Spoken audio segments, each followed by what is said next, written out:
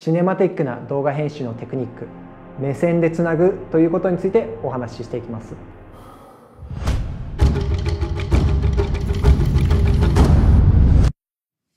どうも皆さんこんにちは。映像クリエイターの石田由志です。今日の内容は動画編集でシネマティックに見せたい時にこう目線でつなぐという編集方法について解説していきたいと思います。それはどういうことかというと例えばですけど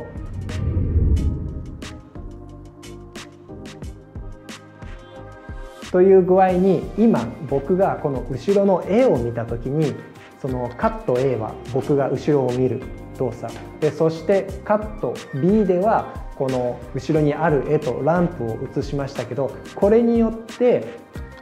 カット A から B っていうのがすんなりつながります。でこれがいわゆる目線でつなぐという手法になります。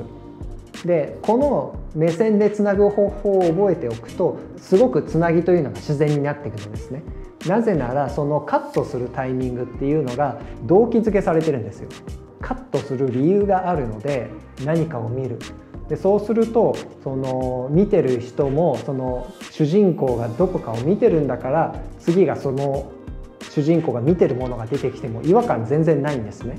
でそういうふうにして例えばポートレート動画とか、まあ、風景動画でもいいですけどそのインサートカットとかをうまく入れていくことによってそのすごくこう変化の飛んだあの動画っていうのを作ることができます。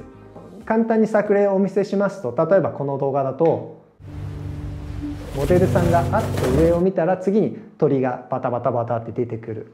でモデルさんが上を見ると次に花が出てくるという感じでこうモデルさんが見たものに対してその次に絵を入れてあげる。でそうすることによってすんなりとつながっていきますね。例えばこちらの動画だとカフェで店員さんがこうコーヒーを作る作業をしていてこうカシャカシャカシャとやってるんですね。でそれでその目線は手先に行ってるんですよ。なので次に手先にあるものを映してあげるとカット A でモデルさんが何かを見てる。でカット B でモデルさんの見てる手先が映るというだけでカット A から B っていうのがすんなりつながってきます。あとは主人公またモデルさんがこうまあ、走ったり歩いたりしてる中で次に例えばそのモデルさんの目線、まあ、こことかにカメラを置いてでそのまま歩いていくだけでその走ってる間に見える景色みたいな感じでもその物語っていうのを伝えることができます。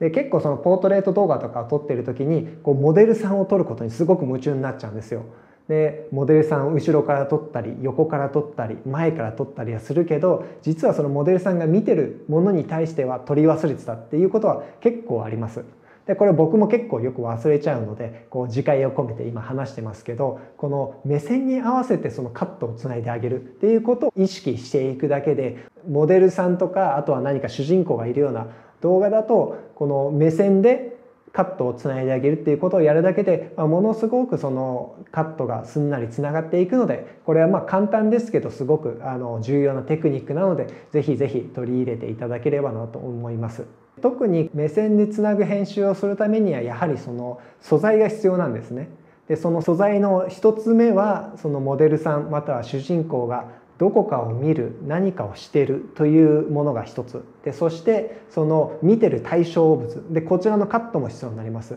で特にこの後半の何かを見てるもの何かしてるとこここを忘れやすいので撮影する時にはまここをとにかく意識して忘れず両方を抑えるように心がけてください。でこれはその編集の知識だけでやっぱりうまくいかなくてやっぱりその撮影時にその知識を持ってあの実際に使っていかないとやっぱり取り忘れてしまうのでこれは常日頃このカットは映画とかドラマでも非常によく使われているのであのぜひそこからあのアイデアを参考にして実際に撮影する時にはこれを忘れず撮ってでそれを編集でつないでいくっていうこのプロセスをまあぜひやっていただければなというふうに思います。というわけで今回の動画の内容はシネマティックな編集方法の一つの目線でつなぐという編集方法についてのお話でした。もし今回の動画がお役に立てれば是非高評価ボタンよろしくお願いします。僕のチャンネルでは映像に関するさまざまなことを発信しておりますのでぜひチャンネル登録まだの方はよろしくお願いします。でこれからもまこういった感じの、ま、シネマティックに見える動画編集のやり方などどんどんお話ししていければなというふうに思います。それではまた皆さん次回の動画でお会いしましょう。バイバイ。